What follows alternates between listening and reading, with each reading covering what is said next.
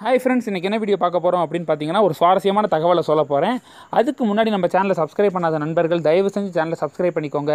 இந்த வீடியோ பிடிச்சிருந்துச்சுன்னா லைக் பண்ணுங்கள் ஷேர் பண்ணுங்கள் மறக்காமல் கமெண்ட் பண்ணுங்கள் இன்றைக்கி என்ன வீடியோ பார்க்க போகிறோம் அப்படின்னு பார்த்தீங்கன்னா கௌதம் கம்பீர் கண்டிப்பாக எல்லாருக்கும் தெரிஞ்சிருக்கும் இந்தியன் ஸ்டார் கிரிக்கெட் பிளேயர் ரெண்டாயிரத்தி பதினொன்று வேர்ல்டு கப்பில் அவர் அடித்த ஆட்டத்தை யாருனாலையும் மறக்கவே முடியாது. 97 செவன் ரன்ஸ் அடித்து நம்ம இந்தியாவுக்கு கப் வாங்கி கொடுத்தாரு.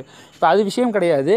அதுக்கப்புறம் கிரிக்கெட்லேருந்து ஓய்வு பெற்றுட்டாரு. அதுக்கப்புறம் வந்து அரசியலில் இறங்கினார் பிஜேபியில் இறங்கினார். இறங்கின உடனே பிஜேபியில் வந்து அவருக்கு வந்து சீட்டு கொடுத்தாங்க.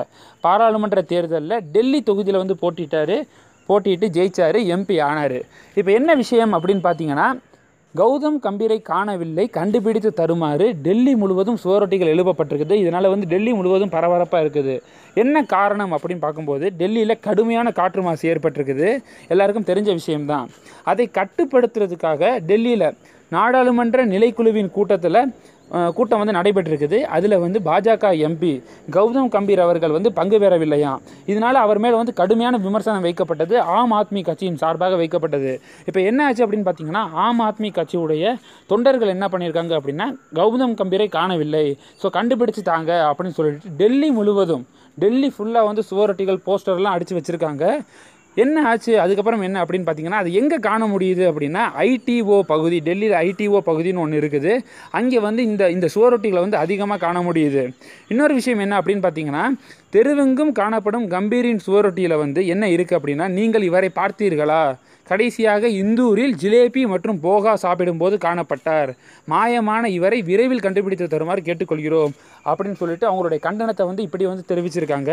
இன்னொரு விஷயம் என்ன அப்படின்னு பார்த்தீங்கன்னா ரெண்டாயிரத்தி பத்தொம்போது நவம்பர் பதினஞ்சு.